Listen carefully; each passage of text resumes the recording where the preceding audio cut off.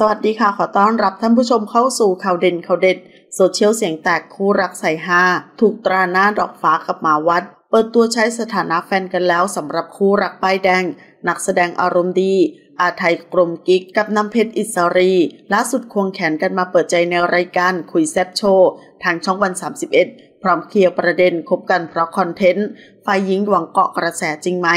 เพิ่งขอเป็นแฟนกันเมื่อฮาโลวีนที่ผ่านมา อาไทบอกว่าวันฮาโลวีนเลยครับถามว่าทำไมต้องเป็นโอซาก้า เพราะเป็นประเทศแรกที่ได้ไปด้วยกัน แล้วผมคุยไว้ในรายการต่างๆว่า ตอนนี้เรายังไม่ได้เป็นแฟนกัน แต่วันหนึ่งเราจะเป็นแฟนกัน และที่ผมจะขอเขาเป็นแฟน จะไม่ใช่ที่ไทย ต้องเป็นต่างประเทศ วันนั้นเซอร์ไพรส์ไหม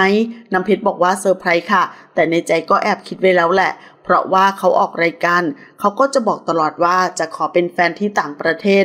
ที่แน่ ๆ แต่ไม่รู้ว่าวันไหน วันนั้นเขาพูดกับกล้อง บอกว่าเราคุยกันมานานแล้ว วันนี้คุณน้ำเพชรเป็นแฟนกับผมนะครับเราก็พยักหน้าโอเค ก็เขินตื่นเต้น กระเทยก็เยอะไปกับแก๊งฮิวหวี ตอนที่เป็นแฟนกันแล้วทะเลาะกกันเลยเหรออาไทยบอกว่าใช้คำว่าวันรุ่งขึ้น ตื่นมายังไม่เท่าไหร่ ตกช่วงตอนเย็นเราไปซื้อของฝากกลับไทย แล้วเราไปซื้อกระเป๋าลากใบใหม่ ซึ่งเรามีเป้มันหนักกล้อง เราเลยจะเอากล้องออกจากเป้ เข้ากระเป๋าลากก็เอาผ้าห่อกล้องแล้วยัดเข้ากระเป๋า เขาบอกว่าทำอะไรให้มันเร็วๆหน่อยได้ไหมทำช้ามากเลย หลายรอบแล้ว ชอบทำอะไรช้า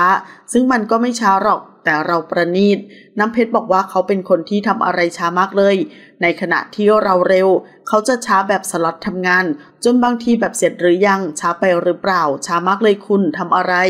อาไทยบอกว่าเราก็รู้สึกแหละ อันนี้มันควรจะประณีตไง เขาบอกว่ารู้ว่าห่อแต่ให้เร็วกว่านี้ได้ไหมเรื่องถ่ายรูปก็ทำให้ทะเลาะกัน น้ำเพชรบอกว่าเพชรชอบให้ถ่ายรูปโฟกัสที่ตัวเรา แต่เขาชอบให้เราอยู่ริมไปถ่ายเน้นวิว คือถ่ายแบบนี้ลงแล้วมันไม่สวย เราต้องการแบบนั้น มันเป็นหลาย ๆ ครั้งทำไมรูปมันเบี้ยวจังเลย คุณชอบถ่ายรูปแนวนี้มากเลยอาไทยบอกว่าเราไปดูที่เขาสอน คือมันมีตารางเก้าช่อง เขาบอกให้แบบอยู่ซ้ายหรือขวา แล้วตรงนั้นมันเป็นทางรถไฟ เราอยากให้แฟนเราอยู่ตรงมุม แล้วเห็นเป็นทางรถไฟยาวไป เพราะถ้าอยู่ตรงกลางมันจะไม่เห็นรถไฟ เห็นว่าเกือบจะเลิกกัน เพราะน้ำเพชรถามเราว่า เราไม่เข้าใจกันแบบนี้ เรายังอยากเป็นแฟนกันอยู่ไหม น้ำเพชรบอกว่าใช่มันหลาย ๆ เรื่องราวที่เราไปเที่ยวด้วยกัน เรารู้สึกว่าเราอาจจะไม่น่ารักสำหรับเขา เราก็ถามเขาตรง ๆ ว่ารู้จักกันขนาดนี้แล้ว ยังอยากเป็นแฟนกันอยู่ไหม ยังชอบกันอยู่ไหม เขาตอบว่ายังโอเคอยู่เขายังไหวอาทัยบอกว่า ผมว่าคู่รักมันมีแหละ นิสัยที่ต้องปรับกัน มันไม่มีสิ้นสุดหรอก ที่บอกว่าเรายังไหวเพราะเราเป็นคนที่เคลียร์กับความคิดตัวเองไวเรากดแป๊บหนึ่งขอเราไปอยู่นิ่งๆพักหนึ่งเรากลับมาเรายิ้มแย้มเหมือนเดิมแล้ว ก่อนหน้านี้เกือบไม่มีการขอเป็นแฟนแล้วนะ เพราะเชื่อหมอดู หมอดูบอกว่าคู่นี้ควรจะเป็นเพื่อน ห้ามเปิดตัวเป็นแฟน ไม่อย่างนั้นต้องเลิกอาไทยบอกว่าเราไปด้วยกันไปถ่ายรายการแม่มดดำตอนกลางคืน เปิดไพ่กับอาจารย์อุ๋ย เขาบอกคู่นี้เป็นแฟนกันไม่ได้ ถ้าเป็นแฟนเลิกเป็นเพื่อนกันปังมาก เราก็ทำใจเพราะเขาเชื่อมูมาก ตอนนั้นก็ถอดใจเรารู้สึกว่าไม่ใช่ก็ไม่ใช่ เขาเป็นคนเชื่อมูอยู่แล้ว แต่มีคำคำหนึ่งที่ทำให้ผมไม่ถอดใจ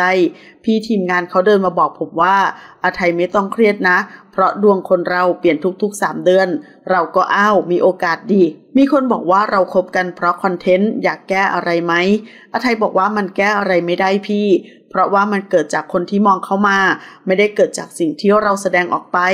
เขาอาจไม่ชินกับคนที่หน้าตาดี คบกับคนที่หน้าตาไม่ดี เขาเลยอาจจะมองว่ามันอาจจะไม่จริงหรอก อาจจะเป็นการสร้างกระแสอาจจะเป็นคอนเทนต์น้ำเพชรบอกว่าอีกเรื่องก็คือ หนูชอบถ่ายติ๊กต็อกชอบถ่ายลงตลอด มีอะไรก็จะถ่ายตั้งแต่ตอนที่ไม่ได้คบกันเลย คนอาจจะมองว่าหนูมาเกาะกระแสน้อง น้องเป็นดาราด้วย แล้วเราเป็นนางงามดรามา่ามีคอมเมนต์อะไรที่รู้สึกว่าแรงเกินไปอาไทยบอกว่าถ้าผมไม่ค่อยมี ผมเคลียร์แล้วคืออ่านแล้วเคลียร์อะไรที่ไม่เกิดประโยชน์ผมช่างเลย ที่ผมได้อ่านคร่าวๆคือไอ้อ้วนเขาไม่เอามึงหรอก พอมึงหมดเงินเขาก็ไม่อยู่กับมึงแล้ว คู่นี้คบกันมา 6 เดือน แต่เพิ่งขอเป็นแฟนอาทิตย์กว่า เคยคุยเรื่องแต่งงานเรื่องมีลูกแล้ว น้ำเพชรบอกว่าไม่ได้ถึงกับคุยขนาดนั้น แต่เป็นการวางแผนการใช้เงิน วางแผนการทำงานมากกว่าอาไทยบอกว่าเขาเคยพูดว่าสมมุติรอด 5 ปีไปได้ก็อยากแต่ง ขอขอบคุณข้อมูลจาก t h a i s t o r e o n l i n e c o m ขอบคุณค่ะ